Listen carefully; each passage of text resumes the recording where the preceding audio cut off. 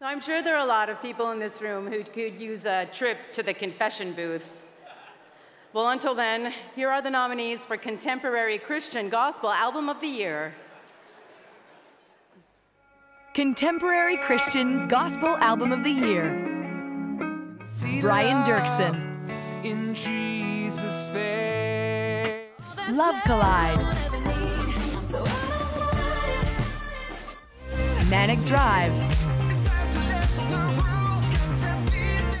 Tim Neufeld and the Glory Boys. Warren Dean Flandez.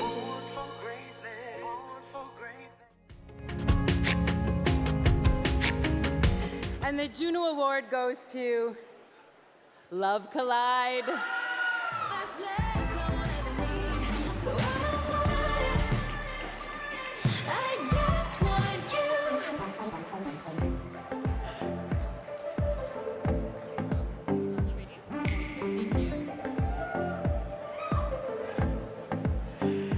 You are it.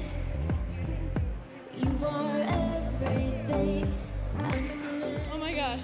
Oh, I can't breathe. I can't feel my arm. I'm shaking. Wow. Thank you.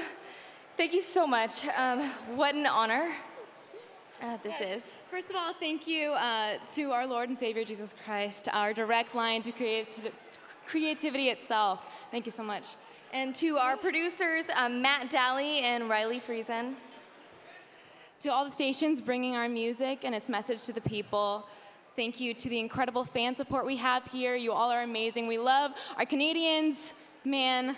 And we want to recognize our people um, in the Chippewa of the Thames First Nation for their support.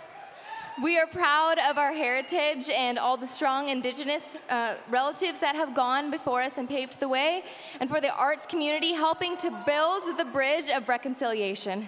We are not mythical creatures. We are not extinct. We are people still in need of recognition.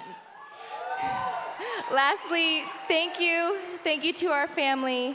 We owe it all to you. To our mom, who's been our momager since we were 13 years old, and our dad, who's always believed in us. Thank you so much, Chi Thank you.